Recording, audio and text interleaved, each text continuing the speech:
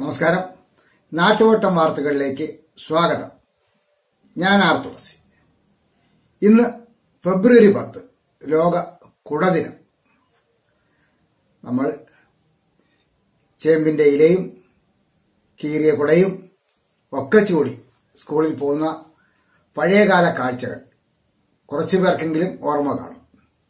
അന്ന് നമ്മുടെ സ്കൂളിൽ നല്ല വർണക്കുടകളുള്ള എത്ര പേരുണ്ടാവും? വളരെ കുറച്ചല്ലേ? ഇന്ന് എല്ലാവർക്കും കുടയുണ്ട്. പലർക്കും ഒന്നിലധികം കുടകളുണ്ട്. ഈ കുടയുടെ കഥയിലേക്ക് ഇന്ന് നമുക്ക് പോവാം. ഇന്ന് ദേശീയ അന്തർദേശീയ കുടദിനം അതിലേക്ക്. ആകാശക്കുട കീഴെ ആമോദത്തോടെ ജീവിക്കാൻ ആഗ്രഹിക്കാത്ത ആരാണ് ഇവിടെയുള്ളത്? ആകാശത്തെ കുടയോട് വമ്പിച്ചത് എത്രയെത്ര കവികളും സാഹിത്യകാരന്മാരുമാണ്. കുടചൂടി വരുന്ന കൺമണിയെയും ഇഷ്ടപ്പെട്ട പെൺമണിയെയും കാണാൻ കൊതിക്കാത്തവരായി ആരുണ്ടിവിടെ? കമ്പിക്കുടയും കാലൻകുടയും പാളക്കുടയും കുടകളുടെ വൈവിധ്യ ധാരാളിത്തം അനുഭവിക്കുന്നവരാണ് നാം. ഇന്ന് ദേശീയ കുടദിനമാണ്. നമുക്ക് കുടയുടെ വിശേഷങ്ങൾ അറിയാം. ഒരു ചെറിയ തണൽ നൽകുന്ന കുടദിനം കൂടിയാണിന്ന്. ലോകത്തിലെ ഏറ്റവും ഉപയോഗപ്രദമായ കണ്ടുപിടുത്തങ്ങളിലൊന്നായ കുടയുടെ കണ്ടുപിടുത്തത്തെ ഈ ദിവസം ഓർമ്മിപ്പിക്കുന്നു.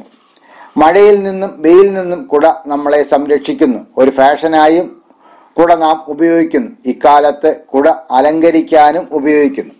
കുടകൾ കലാരംഗത്തേക്ക് കടന്നു വന്നിട്ട് അവയുടെ നിറവും ആകൃതിയും ചിത്രങ്ങൾ വരച്ച വരച്ച പ്രതലവും കലാരംഗത്ത് ഉപയോഗിക്കുന്നു. കലയുടെ ക്യാൻവാസായും കുട മാറിയിരിക്കുന്നു. സിനിമകളിൽ നാടകങ്ങളിൽ ഇന്ന് വ്യാപകമായി കുട ഉപയോഗിക്കുന്നു. തണൽ അല്ലെങ്കിൽ നിഴൽ എന്നർത്ഥം വരുന്ന ഉംബ്ര എന്ന ലാറ്റിൻ പദത്തിൽ നിന്നാണ് കുട എന്ന വാക്ക് വന്നത്. ബ്രിട്ടൻ ന്യൂസിലാൻഡ് ഓസ്ട്രിയ ദക്ഷിണാഫ്രിക്ക എന്നിവിടങ്ങളിൽ പലപ്പോഴും ഉപയോഗിക്കുന്ന കുടയുടെ ഒരു സ്ലാങ് പദമാണ് ബ്രോളി. പത്തൊമ്പതാം നൂറ്റാണ്ടിന്റെ അവസാനത്തിൽ ഒരു കുടയ്ക്ക് സമാനമായ സാങ്കല്പിക അമേരിക്കനിസമാണ് ബമ്പർ ഷൂട്ട്. നാലായിരം വർഷങ്ങൾക്ക് മുമ്പാണ് കുടയുടെ ആദ്യ രൂപം ഉണ്ടായത്. ഈജിപ്ത് അസീറിയ ഗ്രീസ് ചൈന എന്നിവിടങ്ങളിലെ പുരാതന കലകളിലും പുരാവസ്തുക്കളിലും കുടയുടെ ചിത്രങ്ങൾ തെളിവായി നമുക്ക് ലഭിച്ചിട്ടുണ്ട്. മഴക്കെടുതിയിൽ നിന്ന് നമ്മളെ ആദ്യം സംരക്ഷിച്ചത് ചൈനക്കാരാണ്. അവർ പേപ്പർ പാരസോളുകൾക്ക് മെഴുകുപാളി ചേർത്ത് കുടയുണ്ടാക്കി. ഇംഗ്ലണ്ടിലെ ലണ്ടൻ സ്ട്രീറ്റിലെ അമ്പത്തിമൂന്ന് ന്യൂ ഓക്സ്ഫോർഡ് സ്ട്രീറ്റിൽ ആയിരത്തി എണ്ണൂറ്റി മുപ്പതിൽ ആദ്യത്തെ കുടക്കടകളിലൊന്ന് ആരംഭിച്ചു. ജെയിംസ് സ്മിത്ത് ആൻഡ് സൺസ് നടത്തിവന്ന ആ കുടക്കട ഇന്നും അതേ സ്ഥലത്ത് കൃത്യമായി പ്രവർത്തിക്കുന്നു. ആയിരത്തി തൊള്ളായിരത്തി ഇരുപത്തെട്ടിൽ ഹാൻസ് ഹാപ്റ്റിന്റെ പോക്കറ്റ് കുടകൾ പുറത്തിറക്കി. തുടർന്ന് ആയിരത്തി തൊള്ളായിരത്തി അറുപത്തി ഒമ്പതിൽ ഒഹായോയിലെ ലവ്ലാൻഡിലെ ഡോട്ടസ് ഇൻകോർപ്പറേറ്റ് ഉടമയായ ബ്രാൻഫോർഡ് ഇ ഫിലിപ്സ് ആദ്യത്തെ വർക്കിംഗ് ഫോൾഡിംഗ് കുടയുടെ പേറ്റന്റ് നേടി. കുടകൾ ആയിരത്തി എണ്ണൂറ്റി എൺപതിലും ആയിരത്തി തൊള്ളായിരത്തി എൺപത്തി ഏഴിലും തൊപ്പികളായി രൂപപ്പെടുത്തിയിട്ടുണ്ട്. ഇങ്ങനെ തൊപ്പിക്കുടകളും ഉണ്ടായി. നമ്മുടെ നാട്ടിലെ കൃഷിക്കാർ പണ്ടുപയോഗിച്ചിരുന്ന ഓല കൊണ്ടുള്ള പാള കൊണ്ടുള്ള തൊപ്പിക്കുടകൾ പന കൊണ്ടുള്ള തൊപ്പിക്കുടകൾ പനയോലയുടെ തൊപ്പിക്കുടകൾ ഇതിന് സമാനമാണ് ഇതിന്റെ ആദ്യ രൂപങ്ങളാണ്. ഫോട്ടോഗ്രാഫർമാർ കൃത്രിമ ലൈറ്റിംഗ് ഉപയോഗിക്കുമ്പോൾ ഒരു ഡിഫ്യൂഷൻ ഉപകരണമായും ഒരു ഗ്ലെയർ ഷീൽഡായും ഷെയ്ഡായും ഉള്ളിൽ പ്രതിഫലിക്കുന്ന കുടകൾ ഉപയോഗിക്കുന്നു. രണ്ടായിരത്തി നാല് മുതലാണ് ലോകത്ത് കുടദിനം ആഘോഷിക്കാൻ തുടങ്ങിയത്. വീടിനുള്ളിൽ കുട നോക്കുന്നതും കുട ചൂടി നിൽക്കുന്നതും ചിലയിടങ്ങളിൽ ദൗർഭാഗ്യകരമായ ദൗർ- ദൗർഭാഗ്യമായ ഒന്നായി കാണുന്നു. ഇതൊരു അന്ധവിശ്വാസമാണെങ്കിലും ഇടുങ്ങിയ മുറിക്കുള്ളിൽ കുട നോക്കുന്നതും കുട ചൂടുന്നതും മറ്റുള്ളവർക്ക് അരോചകമായതിനാൽ ആയിരിക്കാം ഇങ്ങനെ ഒരു അന്ധവിശ്വാസം എന്നതിനെ വിശേഷിപ്പിച്ചത്. ഇന്നത്തെ നാട്ടുവട്ടം വാർത്തകൾ. യുവാവ് കരൽമാറ്റ ശസ്ത്രക്രിയയ്ക്ക് നിങ്ങളുടെ നല്ല മനസ്സുകളുടെ സഹായം തേടുകയാണ്. അദ്ദേഹത്തെ നിങ്ങൾ സഹായിക്കണം. കുണ്ടറൈ പോലീസിനെ ആക്രമിച്ച് പ്രതിയെ രക്ഷപ്പെടുത്തി. നല്ല രസമുള്ള കഥ വായിക്കും. ചിത്രകലാ പരിഷത്ത് സംസ്ഥാന ക്യാമ്പ് സമാപിച്ചു. കൊല്ലം തേനി ദേശീയപാത ബൈപ്പാസ് അലൈൻമെന്റ് നിർത്തിവെക്കും നെൽകൃഷി വിളവെടുപ്പ് ഉത്സവം നടന്നു നാട്ടുവട്ടം അറിയിപ്പുകളും.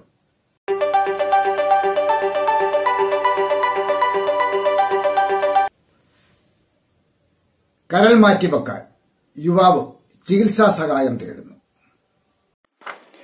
കരൾമാറ്റ ശസ്ത്രക്രിയയ്ക്കായി യുവാവ് സഹായം തേടുന്നു. കിഴക്കേക്കരട പഞ്ചായത്തിൽ ഓണമ്പലം വാർഡിൽ രണ്ട് മുക്കിൽ തകിടിയുള്ള വീട്ടിൽ ജോൺ സക്കറിയയുടെയും ജിഷയുടെയും ഇളയ മകൻ പതിനെട്ട് വയസ്സുള്ള ആൽബിൻ ജോൺ ആണ് ചികിത്സാ സഹായം തേടുന്നത്. കരൾ സംബന്ധമായ അസുഖത്തെ തുടർന്ന് എറണാകുളത്തെ സ്വകാര്യ ആശുപത്രിയിൽ തീവ്ര പരിചരണ വിഭാഗത്തിൽ ചികിത്സയിലാണ്. ഇൻഫർമേഷൻ ടെക്നോളജി ആദ്യ വർഷം വിദ്യാർത്ഥിയായ ഇദ്ദേഹത്തിന്റെ ജീവൻ ഇപ്പോൾ നിലനിൽക്കുന്നത് അത്യാധുനിക വൈദ്യ സഹായ ഉപകരണങ്ങളുടെ സഹായത്തോടെയാണ്. ഡോക്ടർമാർ അടിയന്തരമായി കരൾ മാറ്റിവെക്ക വയ്ക്കൽ ശസ്ത്രക്രിയയ്ക്ക് നിർദ്ദേശിച്ചിരിക്കുകയാണ്. ശസ്ത്രക്രിയയ്ക്ക് വേണ്ടി ഏകദേശം ഇരുപത് ലക്ഷം രൂപ വേണ്ടിവരുമെന്നാണ് ആശുപത്രി അധികൃതർ പറയുന്നത്. ഇതിനകം തന്നെ മകന്റെ ചികിത്സയ്ക്ക് മറ്റുമായി തങ്ങളുടെ സമ്പാദ്യം എല്ലാം ചിലവഴിച്ച നിർധനരായ കുടുംബങ്ങൾ തുടർന്നുള്ള ചെലവുകൾ നിർവഹിക്കാൻ കഴിയാത്ത സാഹചര്യത്തിലാണ്. ആൽബിന്റെ ജീവൻ രക്ഷിക്കാൻ ഇനി സുമനസ്സുകളായ മനുഷ്യസ്നേഹികളുടെ കരുണയിൽ മാത്രമാണ് പ്രതീക്ഷ. നിങ്ങളുടെ സഹായം ഒരു രൂപയെങ്കിൽ ഒരു രൂപ ഇപ്പോൾ തന്നെ അയക്കൂ. പണം ആദ്യമായും അവസാനമായും ജീവൻ നിലനിർത്തുവാനുള്ളതാണെന്ന് ഓർമ്മിക്കുക. സാമ്പത്തിക സഹായം അയക്കേണ്ടത്. അക്കൗണ്ട് നമ്പർ പൂജ്യം നാല് പൂജ്യം രണ്ട് പൂജ്യം അഞ്ച് മുപ്പത് പൂജ്യം പൂജ്യം പൂജ്യം ഒന്ന് രണ്ട് മൂന്ന് അഞ്ച് പൂജ്യം. I F I F S C code.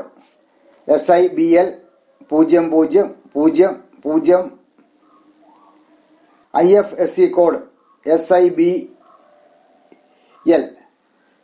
പൂജ്യം പൂജ്യം പൂജ്യം പൂജ്യം നാല് പൂജ്യം രണ്ട്. Phone number. തൊണ്ണൂറ് നാൽപ്പത്തിയെട്ട് നാൽപ്പത്തിയാറ് ഇരുപത്തിയേഴ് ഇരുപത്തിരണ്ട്. കുണ്ടറയിൽ കുടുംബം ക്രിമിനൽ കേസിലെ പ്രതിയെ പോലീസിൽ നിന്ന് രക്ഷിച്ചു. കസ്റ്റഡിയിൽ എടുക്കാൻ ചെന്ന പോലീസുകാരെ ആക്രമിച്ച് പ്രതിയെ രക്ഷപ്പെടുത്തി. പടപ്പക്കര ഫാത്തിമ ജംഗ്ഷനിൽ പ്രതിഭാവനിൽ ചാർലിയുടെ മകൻ അബിൻ ചാൾസിനെയാണ് കുടുംബം രക്ഷപ്പെടുത്തിയത്. മാവേലിക്കരയിൽ കൊലപാതക കേസിൽ പ്രതിയായി ജാമ്യത്തിൽ നിൽക്കെ കുണ്ടറ പടപ്പക്കരയിൽ വധശ്രമ കേസിലെ ഒന്നാം പ്രതിയാണിത്. ഇയാൾ. പ്രതി വീട്ടിലുണ്ടെന്ന് രഹസ്യ വിവരം കിട്ടിയതിനെ തുടർന്ന് പോലീസ് അറസ്റ്റ് ചെയ്യാൻ വീട്ടിലെത്തി. വീട്ടിൽ നിന്ന് പിടിച്ച് പുറത്തേക്ക് പിടിച്ചുകൊണ്ടുവരുമ്പോൾ അച്ഛനും അമ്മയും പ്രതിയും ചേർന്ന് അറസ്റ്റിനെത്തിയ A S I Satheesan C P O Riju എന്നിവരെ ആക്രമിച്ച് പ്രതിയെ രക്ഷപ്പെടുത്തുകയായിരുന്നു. ദേഹോപദ്രവം ഏറ്റ പോലീസുകാർ കുണ്ടറ താലൂക്ക് ആശുപത്രിയിൽ ചികിത്സ തേടി. പ്രതി ഉൾപ്പെടെ മൂന്ന് പേർക്ക് എതിരെ പോലീസിനെ ആക്രമിച്ചതിനും പ്രതിയെ രക്ഷപ്പെടുത്തുന്നതിനും പ്രത്യേക കേസ് എടുത്തിട്ടുണ്ട്. പ്രതിക്കായി കുണ്ട പോലീസ് തിരച്ചിൽ ആരംഭിച്ചിട്ടുണ്ട്. ചിത്രകലാ പരിഷത്ത് സംസ്ഥാന ക്യാമ്പ് സമാപിച്ചു.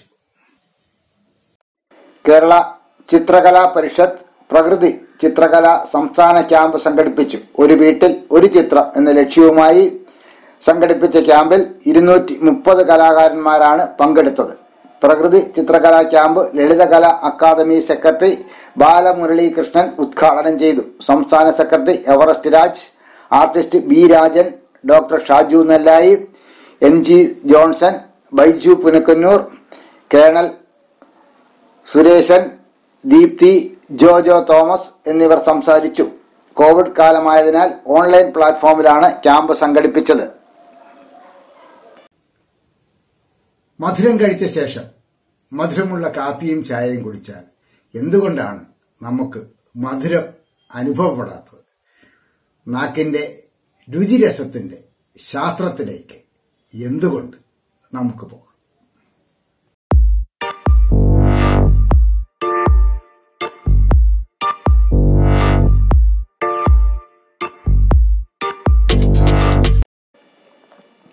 കാപ്പി കുടിക്കാത്തവരും ചായ കുടിക്കാത്തവരും ഉണ്ടാകില്ലല്ലോ.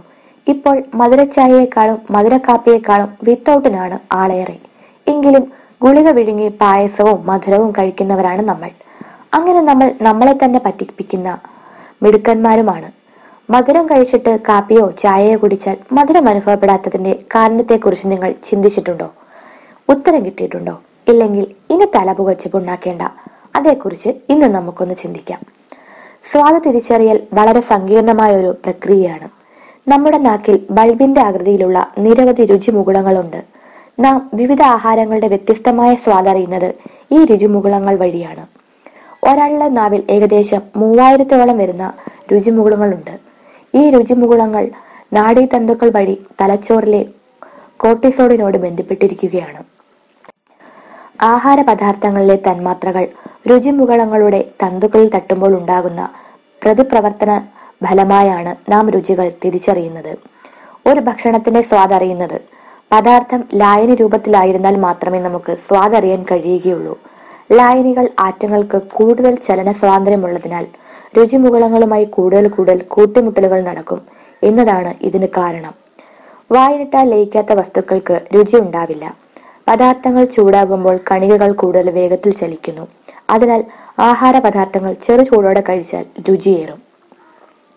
നമ്മുടെ രുചിമുകുളങ്ങൾക്ക് നാല് രസങ്ങൾ തിരിച്ചറിയാൻ കഴിയും. മധുരം ഉപ്പ് കയ്പ് പുളി എന്നിവയാണ് ഈ രസങ്ങൾ. നാക്കിലെ ഓരോ പ്രത്യേക ഭാഗങ്ങളാണ് ഈ രസങ്ങളെ തിരിച്ചറിഞ്ഞ് വ്യത്യസ്ത രുചികൾ പിടിച്ചെടുക്കുന്നത്.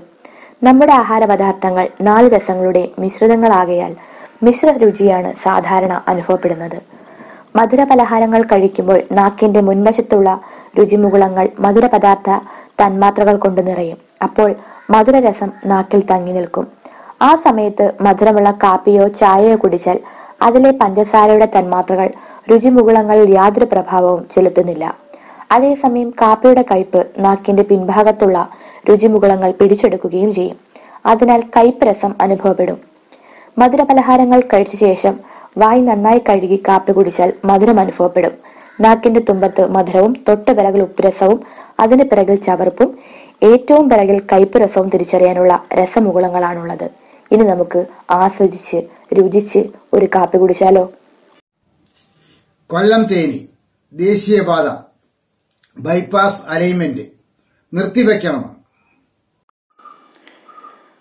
കൊല്ലം തേനി ദേശീയപാത നൂറ്റി എൺപത്തി മൂന്നിന്റെ ബൈപ്പാസ് പെരിനാട് റെയിൽവേ ഓവർബ്രിഡ്ജ് മുതൽ ഭരണിക്കാവ് വരെ നിർമ്മിക്കാനുള്ള അലൈൻമെന്റും കല്ലിടിയിലും തുടർ നടപടികളും ഉടൻ നിർത്തിവെക്കണമെന്ന് ജനകീയ പ്രതിരോധ സമിതി ആവശ്യപ്പെട്ടു.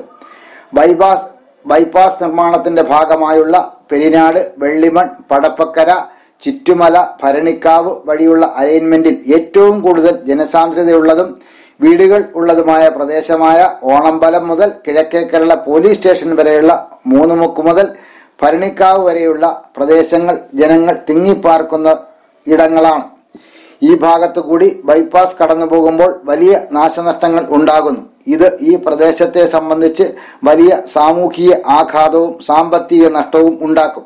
കൂടാതെ ഓണമ്പല ഭാഗത്ത് മഴക്കാലത്ത് വെള്ളക്കെട്ടിന് വെള്ളക്കെട്ടിനും മലമ്പ്രദേശം ഇടിഞ്ഞു താഴുന്നതിനും കാരണമാണ്. കിഴക്കേക്കള്ള മുതൽ ഭരണിക്കാവ് ഭാഗങ്ങളിൽ നിലവിലുള്ള ദേശീയപാതയ്ക്ക് വീതി കൂട്ടുന്നതിന് ആവശ്യമായ സർക്കാർ ഭൂമി നിലനിൽക്കുന്ന സാഹചര്യമുണ്ട്. നിർദ്ദിഷ്ട ബൈപ്പാസ് പാത ഇപ്പോൾ നാഷണൽ ഹൈവേയുടെ ഹൈവേ വീതി കൂട്ടി ഉപയോഗിച്ചാൽ ജനവാസ കേന്ദ്രങ്ങളിൽ ഉണ്ടാകുന്ന വലിയ നഷ്ടം ഒഴിവാക്കാൻ കഴിയും. അതോടൊപ്പം ഗവൺമെന്റിനുണ്ടാകുന്ന ഭീമമായ സാമ്പത്തിക നഷ്ടവും ഒഴിവാക്കാം. പുതിയ അലൈൻമെന്റ് നിർദ്ദേശത്തിന് പിന്നിൽ ചില താൽപര്യങ്ങൾ ഉള്ളവർ ഉള്ളതായി ജനകീയ പ്രതിരോധ സമിതി ആരോപിച്ചു. യോഗത്തിൽ ജന ജനറൽ കൺവീനർ ആർദർ ലോറൻസ് അധ്യക്ഷത വഹിച്ചു. N. Shibu Raju Lawrence Raju Wellington Kapil Das Jose Prakash N. Rajan Kizhakkekalla panchayat Raju Lawrence P. C. Pradeep Kumar Rahul John എന്നിവർ സംസാരിച്ചു. നെൽകൃഷി വിളവെടുപ്പ് ഉത്സവം നടത്തി. ഇളമ്പള്ളൂർ കാർഷിക വികസന സഹകരണ സംഘത്തിന്റെ നേതൃത്വത്തിൽ ആലമ്മൂട് ചിറയിൽ ഏലായിൽ നെൽകൃഷിയുടെ വിളവെടുപ്പ് ഉത്സവം നടന്നു. സംഘം president advocate T C Vijayan വിളവെടുപ്പ് വിളവെടുപ്പ് ഉത്സവം ഉദ്ഘാടനം ചെയ്തു. ഇളമ്പള്ളൂർ പഞ്ചായത്ത് കൃഷി ഓഫീസർ സജിത് പാടശേഖര സമിതി പ്രസിഡന്റ് ചന്ദ്രമോഹൻ ആലമ്മൂട് ഏല പാടശേഖര സമിതി പ്രസിഡന്റ് സേതുനാഥ് വാർഡംഗം മിനി സംഘം ബോർഡ് മെമ്പർമാരായ ജെ മുരളീധരൻ പിള്ള കിഷോർ കർഷക തൊഴിലാളികൾ എന്നിവരും പങ്കെടുത്തു. നമസ്കാരം. നല്ല വാക്കോതുവാൻ ത്രാണി ഉണ്ടാകണം. സോഷ്യൽ മീഡിയയിൽ നിന്ന് ഇന്നെടുക്കുന്ന കുറിപ്പ്. നമ്മുടെ രണ്ട് തവണ ഇന്ത്യൻ പ്രധാനമന്ത്രിയായിരുന്ന അന്തരിച്ച ദേശീയ നേതാവിനെ കുറിച്ചാണ് അദ്ദേഹത്തിന്റെ കഷ്ടതകളെ കുറിച്ചാണ് അദ്ദേഹത്തിനെ കുറിച്ചുള്ള ഈ കുറിപ്പ് ഈ ഇന്നത്തെ സമകാലിക രാഷ്ട്രീയ പശ്ചാത്തലത്തിൽ അത് ഒരു ഓർമ്മപ്പെടുത്തലാണ്. നന്മയുടെ സാമൂഹ്യബോധത്തിന്റെ ലാളിത്യത്തിന്റെ ഒരു ഓർമ്മപ്പെടുത്തലാണ് ആ കുറിപ്പിലേക്ക്.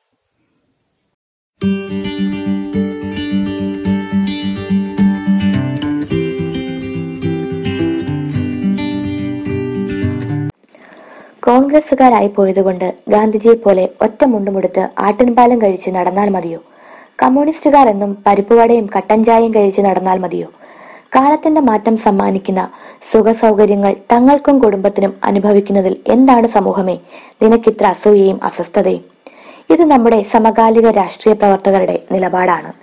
ഇവർക്കിടയിലും ഇങ്ങനെയും ചില രാഷ്ട്രീയക്കാർ ഉണ്ടായിരുന്നു. ഇനി ഇത്തരക്കാർ ഉണ്ടാകുമോ? സംശയമാണ്. സോഷ്യൽ മീഡിയയിൽ നിന്നുള്ള ഒരു കുറിപ്പിലേക്ക്. ആയിരത്തി തൊള്ളായിരത്തി തൊണ്ണൂറ്റി രണ്ടിലാണ് ഒരു പത്രലേഖകൻ ഡൽഹിയിലെ ജനവാസം കുറഞ്ഞ പ്രദേശത്തുകൂടി ബൈക്ക് ഓട്ടിച്ചു പോകവെ ഒരാൾക്കൂട്ടം കണ്ടു. ഏകദേശം തൊണ്ണൂറ്റിനാല് വയസ്സുള്ള ഒരു വൃദ്ധനെ വാടക സമയത്ത് കൊടുത്തില്ല എന്ന കാരണത്താൽ വീട്ടുടമ കഴുത്തിന് പിടിച്ച് പുറത്താക്കിയിരിക്കുന്നു. അയാളുടെ വീട്ടു സാധനങ്ങൾ എന്ന് വെച്ചാൽ ഒരു മെത്ത മൂന്നോ നാലോ അലൂമിനിയം പാത്രങ്ങൾ ഒരു ബക്കറ്റ് എന്നിവയും പുറത്തെടുത്തു വെച്ചിട്ടുണ്ട്. സമീപവാസികൾ പാവപ്പെട്ട വൃദ്ധന് വേണ്ടി ഉടമയോട് കെഞ്ചുന്നു. എല്ലാ മാസവും ഇത് പതിവാണ്. ഇനി സഹിക്കാൻ പറ്റില്ലെന്ന് പറഞ്ഞെങ്കിലും ആൾക്കാരുടെ സമ്മർദ്ദം താങ്ങാനാവാതെ അയാൾ ആ വൃദ്ധനെ തിരികെ വീട്ടിൽ കയറാൻ അനുവദിച്ചു. ഈ കാഴ്ചയിൽ ഒരു വാർത്ത മണത്ത ലേഖകൻ അവിടെ ഇറങ്ങി ആ വൃദ്ധന്റെ ഒരു ഫോട്ടോ എടുത്തു. നേരത്തെയുള്ള ദൃശ്യങ്ങൾ അയാൾ പകർത്തിയിരുന്നല്ലോ. ഒരു ചെറിയ തലക്കെട്ടുണ്ടാക്കി അടുത്ത ദിവസം അയാൾ എഡിറ്ററെ കണ്ടു. വൃദ്ധനോടുള്ള വീട്ടുടമയുടെ ക്രൂരത ഇതായിരുന്നു ആ തലക്കെട്ട്. പടം കണ്ട ഞെട്ടിയ എഡിറ്റർ അയാളോട് ചോദിച്ചു ഇതാരാണ് ഈ വൃദ്ധൻ എന്നറിയാമോ? അയാൾ പറഞ്ഞു അങ്ങനെ അറിയത്തക്ക ആളാണാവോ? ഈ പാവവൃദ്ധൻ എനിക്കറിയില്ല. അടുത്ത ദിവസത്തെ പത്രത്തിന്റെ തലക്കെട്ട് ഇങ്ങനെയായിരുന്നു. മുൻ പ്രധാനമന്ത്രി ഗുൽസാരിലാൽ നന്ദയുടെ ദുരിത ജീവിതം അതെ രണ്ട് തവണ ഇന്ത്യയുടെ ഇടക്കാല പ്രധാനമന്ത്രിയായിരുന്ന ഏറെക്കാലം ക്യാബിനറ്റ് മന്ത്രിയായിരുന്ന സാക്ഷാൽ ഗുൽസാരിലാൽ നന്ദയായിരുന്നു വീട്ടുവാടക കൊടുക്കാനില്ലാതെ പുറത്താക്കപ്പെട്ട ആ മനുഷ്യൻ.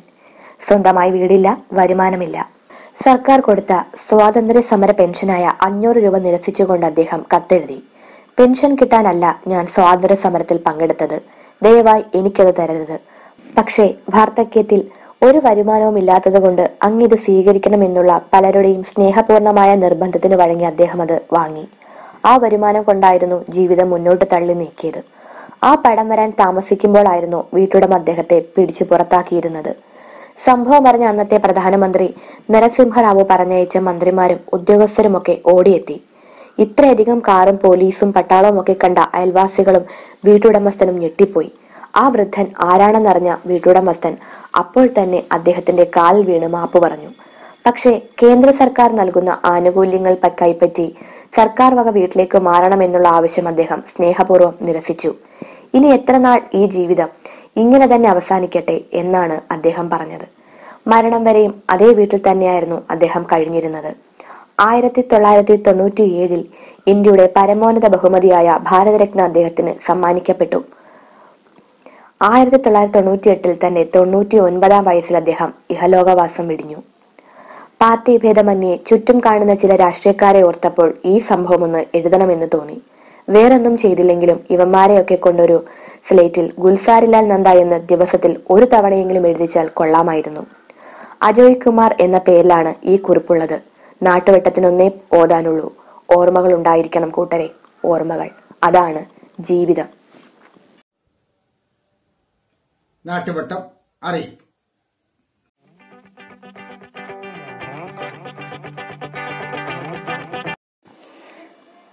റേഡിയോ ശ്രോതാക്കളുടെ ആസ്ഥാനവേദിയായ കാഞ്ചീരവത്തിന്റെ ജില്ലാ സമ്മേളന ആഘോഷ കമ്മിറ്റി രൂപീകരണം നാളെ ശനിയാഴ്ച രാവിലെ പതിനൊന്ന് പതിനൊന്നിന് നാന്തിരിക്കൽ അക്കാദമിയിൽ നടക്കും.